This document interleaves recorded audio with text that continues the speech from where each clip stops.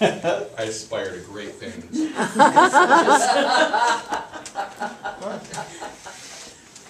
Okay, if this is your first time here, in a guided meditation, just close your eyes. Take a nice breath. Follow the sound of my voice.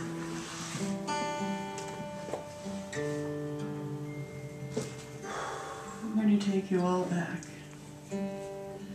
Back into a past life.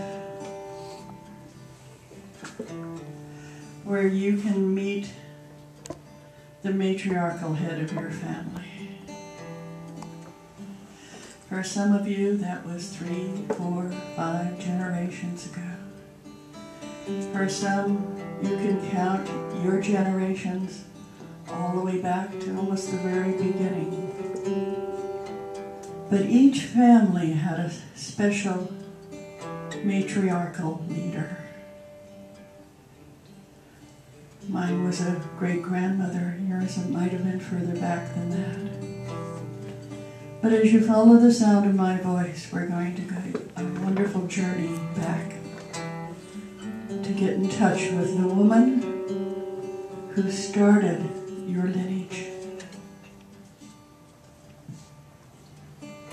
going to have you take a walk with me. Back, back through the ages. And as you're walking along, you're going backward, all the way back to when you were five years old. And then back further. Back to before you were born, when you were a part of spirit. And then follow the sound of my voice as we go back beyond that. Back to the 1800s. And as you get yourself back there, you notice that the costumes that people wear, the clothing people wear, is completely different. The dresses are longer. The women of the day had to be fully clothed. A hat, a dress, long dress. They had stockings quite often gloves. And see yourself as that type of person walking down the street with a parasol in your hand. And for some, this feels very familiar. And you could be the matriarchal center of your life. For some of you, as you go back and back and back, you find yourself in a tribal community of Native Americans. And you are the wise woman sitting cross legged in front of a very beautiful tent or a hogan in front of a fire. And for some of you, you're in Hawaii. And you're not wearing very many clothes. This is before the missionaries have come and had you cover your body with a muumuu.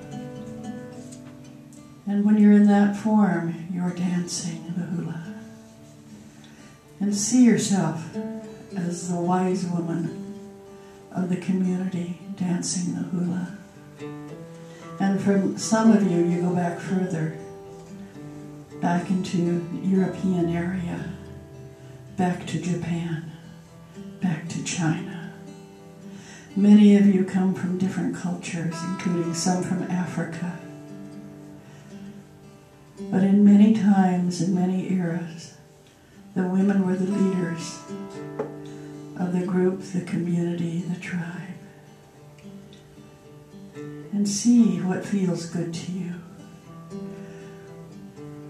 What area and what era can you identify with as a woman? And when you feel that, the babies that you have given birth to, the children you have raised, the young adults that you have nurtured, the grandchildren you've rocked in a rocking chair or held in your arms and talked to. Feel the joy, the excitement, the honor, the bliss of being a woman having children. And for those of you who are in a masculine form at that point in time, you might remember the joy of raising a child as a man. And giving all the mothering to a young child. Each one of us has parented at some time in our life or our lives.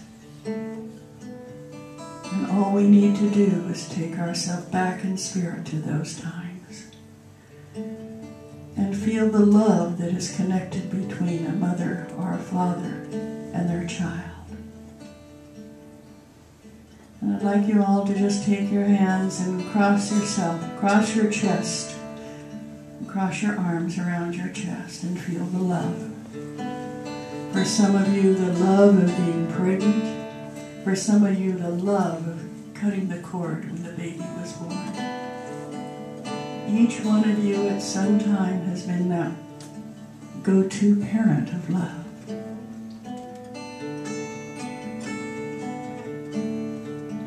Just stay in that memory.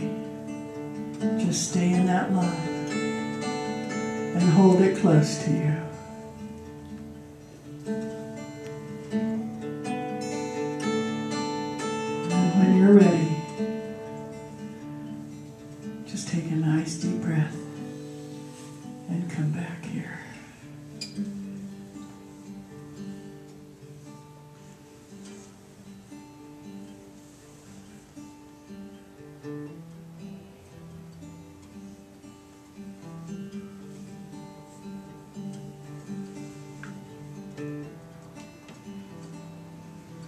Mothering, fathering, parenting is the most spiritual gift you will ever receive.